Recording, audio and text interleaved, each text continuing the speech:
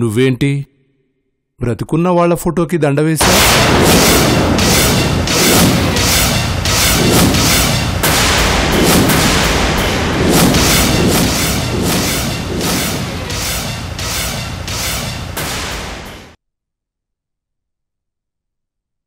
జానకి విజయ్ని చూస్తుంటే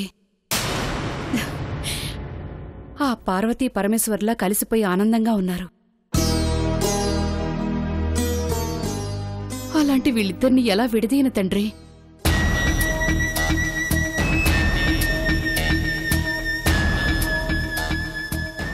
దేవి అరకు వెళ్ళి ఉంటుంది.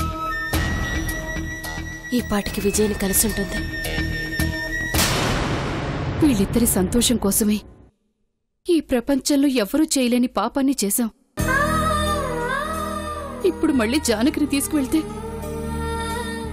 ఎవ్వరికీ సంతోషం ఉండదు. పాపం పుణ్యం ఏదైనా సరే మేమే భరిస్తాం.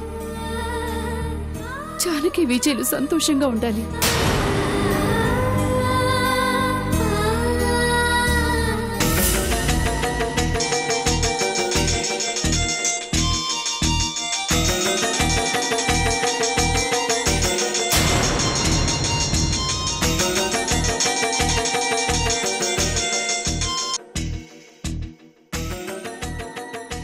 ప్రవళిక దేవి వెళ్ళావా? విజయ్ని కలిసావా?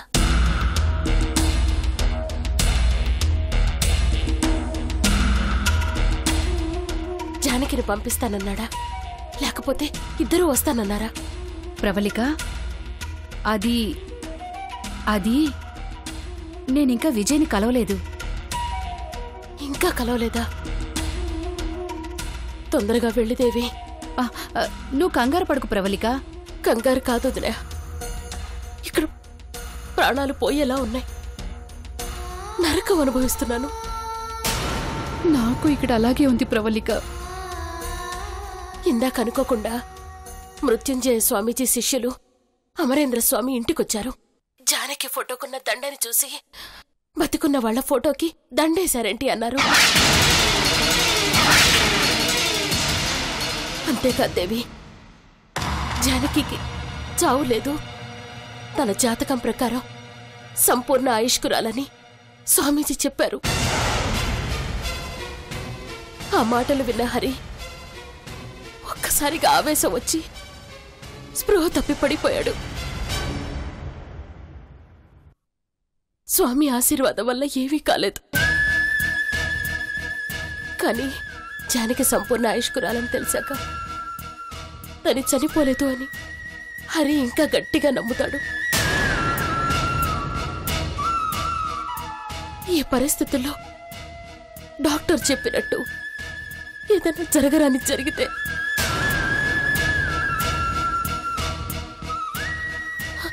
అందుకే దేవి ఆలస్యం చెయ్యకుండా వెంటనే విజయ్కి అన్ని విషయాలు చెప్పి జానకిని తీసుకొచ్చాయి.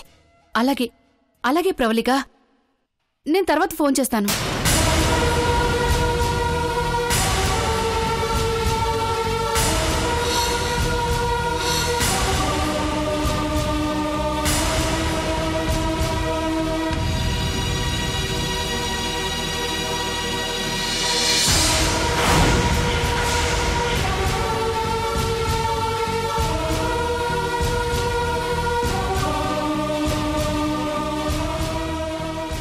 భగవంతుడా? ఏంటి పరీక్ష? ఇప్పుడు నేనేం చేయను? అటు అన్నయ్య ఇటు జానకి విజయ్.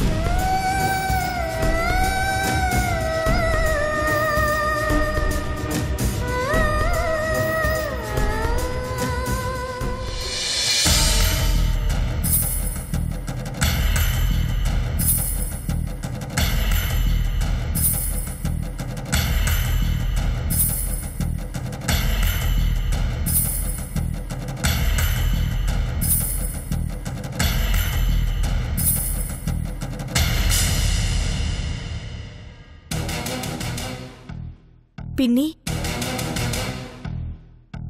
ఏంటమ్మా? బాగా నీరసంగా ఉన్నావు పిన్ని. టిఫిన్ రెడీ చేశాను. రండి తిందురు గాని. ఏంటమ్మా? మేము నీకు సేవలు చేయాల్సింది పోయి. నువ్వే మాకు చేస్తున్నావు. అదేంటి పిన్ని అలా అంటావు? బాబాయ్కి ఆరోగ్యం బాగాలేదని నువ్వు టెన్షన్ పడుతుంటే నాకెలా ఉంటుంది? అదే మీ కూతురు జానకి పనులన్నీ చేస్తుంటే మీరు వద్దనే వాళ్ళ అయ్యో నా ఉద్దేశం అది కాదమ్మా. నువ్వు మా జానకివేనమ్మా. జానకినే కదా? మరైతే మీ రెండు చేతులు ఒకసారి చూపించండి. ఎందుకు? మీరు చూపించండి.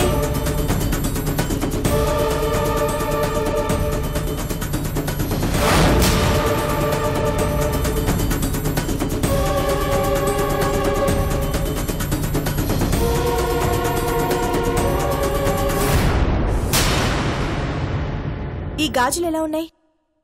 మీకోసమే తెచ్చాను పిన్ని.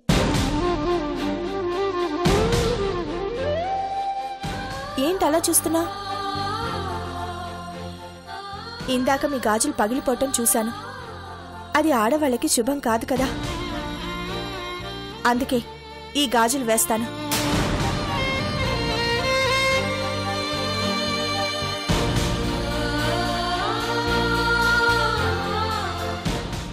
అయ్యో! నేను విధవరాల్ని కదా పిన్ని. గాజులు వేయకూడదేమో. మీరే వేసుకోండి.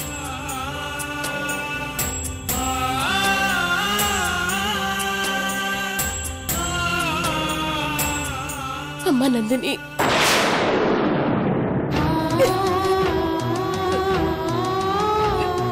పిన్ని ఏమైంది పిన్ని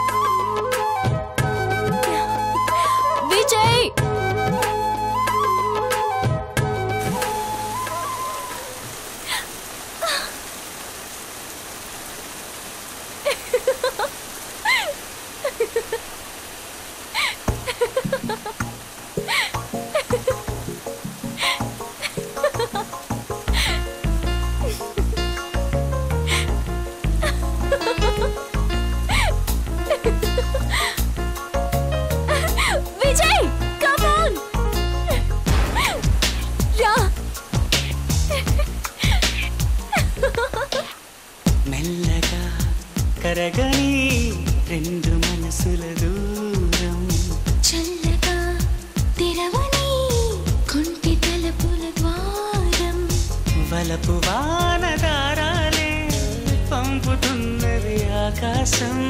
చినుకు పూల హారాలే అల్లుతున్నది మన కోసం. తడిపి తడిపి తనతో నడిపి హరివిల్లును వంతెన వేసిన శుభవేళ.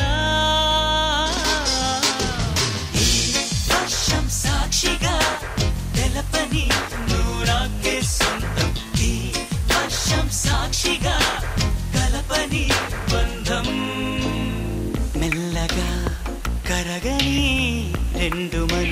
మనసుల దూరం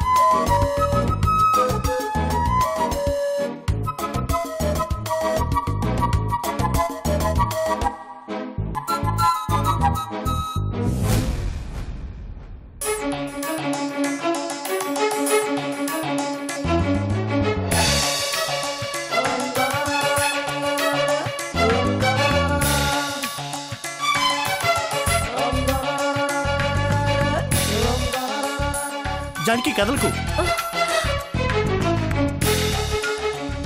అలాగే ఉండు. ఏ? నీ నీడ క్లాత్ మీద ఎంత అందంగా ఉందో చూడు. జానకి అలానే నిలబడు. ఏమైంది విజయ్? మాట్లాడుకు. అలానే ఉండు.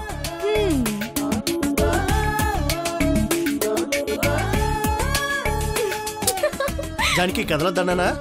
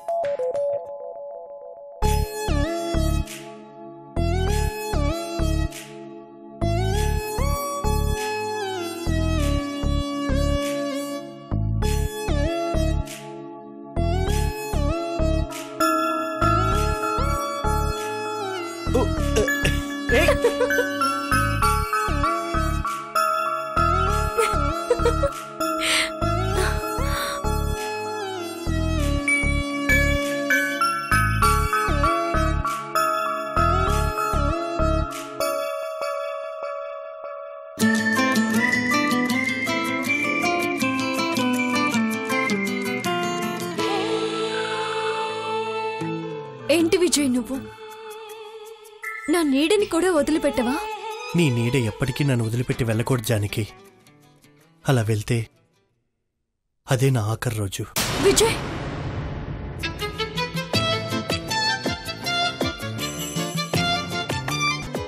విజయ్ నాకు ఈరోజు చాలా ఆనందంగా ఉంది. లైఫ్లో నాకెప్పుడు ఇంత సంతోషంగా అనిపించలేదు. ఈ సంతోషం నాకు జీవితాంతం కావాలి. నువ్వు ఒక్క క్షణం లేకపోయినా నేను బ్రతకలేను విజయ్.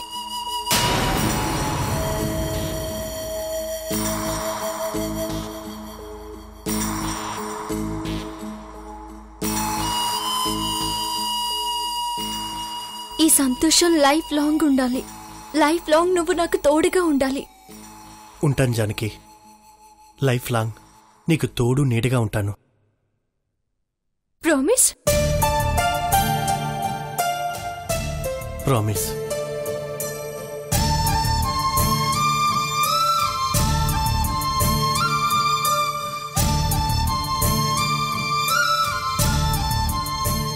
మీ ఇద్దరూ చల్లగా ఉండాలి.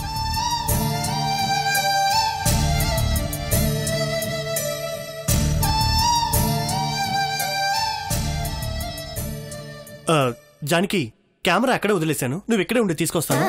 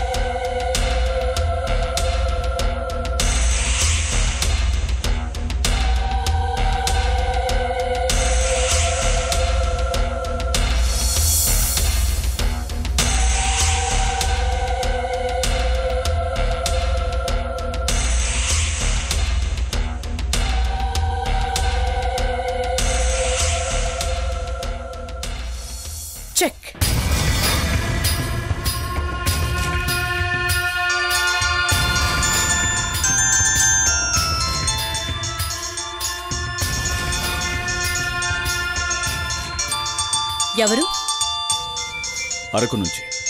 మాట్లాడు. చెప్పు.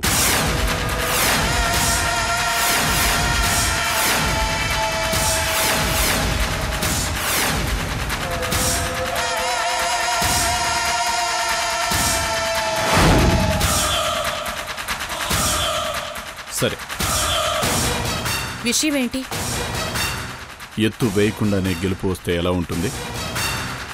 అరకులో అదే జరిగింది. దేవి వెళ్ళి కొడుక్కి హరి గురించి చెప్పకుండానే వెనుదిరిగిందా సింపతియా? వరదలొచ్చి రిజర్వాయర్ నిండగానే నీళ్ళు బయటికి వదిలేస్తారు. పాపం దేవి కన్నీటి వరదని ఆపుకోలేక బయటికి పంపుకోలేక సంతోషపడలేక ఏడవలేక చాలా బాధపడుంటుంది!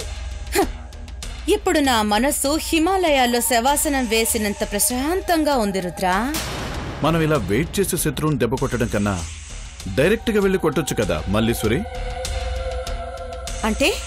జానకి దగ్గరికి వెళ్ళి నందిని బతికే ఉందని చెప్పొచ్చు. హరి దగ్గరికి వెళ్ళి నీ కూతురు బతికే ఉందని చెప్పు. విజయ్ జానకిలు బతికున్నారని నందినికి చెప్పొచ్చు. అలా కూడా చెయ్యొచ్చు గాని కిక్కుండదు రుద్రా. ఆ ఫ్యామిలీలో ప్రతి ఒక్కరూ భయపడాలి బాధపడాలి ఏడవాలి. కొంచెం కొంచెం చంపుకుంటూ వెళ్దాం. అందరినీ చంపేద్దాం. అన్ని పండగలు ఒకేసారి చేసుకుంటావా చెప్పు? ఏ పండగ స్పెషల్ దాందే. ఎప్పుడు జరగాల్సింది అప్పుడు జరిగితేనే కిక్కు. ఈలోపు వాళ్ళే సమస్యను పరిష్కరించుకుంటే? ఆ దేవుడు కూడా ఈ సమస్యకి పరిష్కారం చెయ్యలేడు రుద్రా.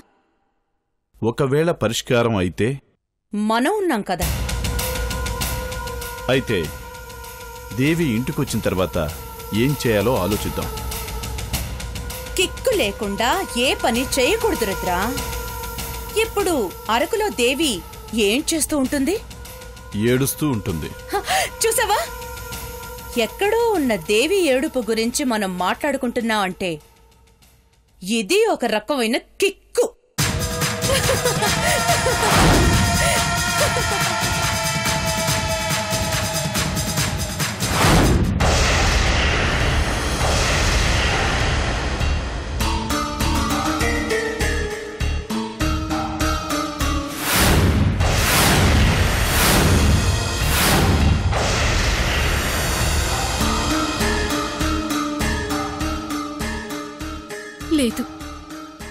వల్ల కాదు.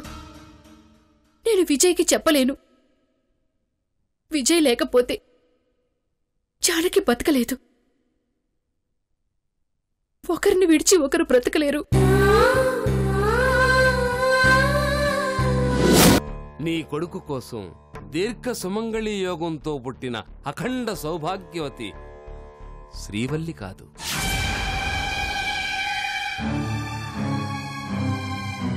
జానకి.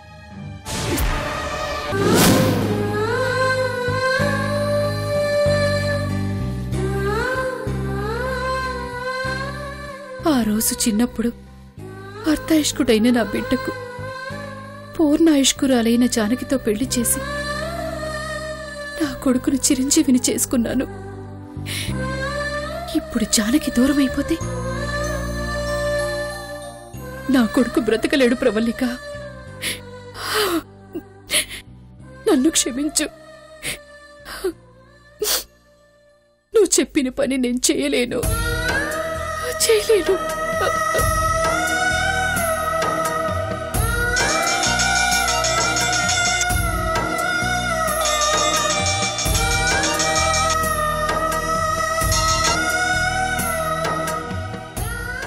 వదినా. దేవి ఏమైంది? ఇంకా విజయన్ కలవలేదా? కలవలేదు. ఏ? ఎందుకని? ఎందుకంటే వాళ్ళిద్దరూ కలవటానికి వీల్లేకుండా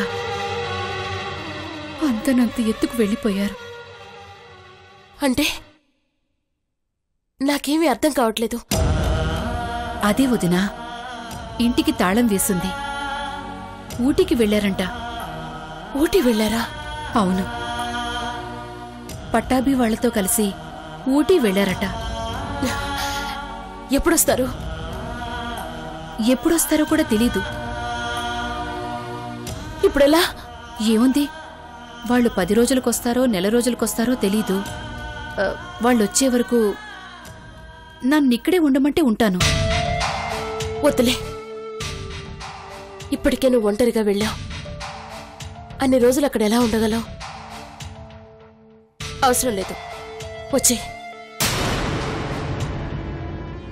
అలాగే. నేను ఈరోజే బయలుదేరతాను. ఆ దేవి. పోనీ ఫోన్ చేసైనా కనుక్కున్నావా? ఫోన్ కూడా అందుబాటులో లేదు. సరే.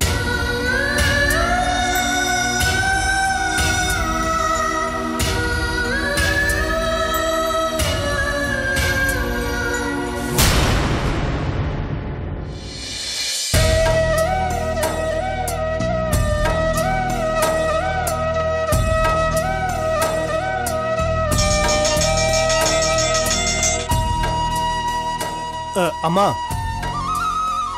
విజయ్? సారీ అమ్మా. సిగ్నల్స్ లేక ఫోన్ చేయలేదు. ఇప్పుడే ఇద్దరు ఇంటికి వచ్చామమ్మా ఆ, ఇప్పుడే అంటే వన్ అవర్ అయిందమ్మా. విజయ్ ఒకసారి ఇలా ఇవ్వు. జా- నేను అత్తయ్యతో మాట్లాడాలి. హలో అత్తయ్య. జానకి? ఏంటత్తయ్య ఎప్పుడు ఫోన్లో మాట్లాడటమేనా? ఇంటికి రారా? నాన్నకి నేను ఇష్టం లేకపోతే అమ్మ రాదు. వాళ్ళిద్దరూ ఎలాగూ రారు. మీకే? మీరు రావచ్చు కదా? మీకు కూడా నా మీద కోపంగా ఉందా?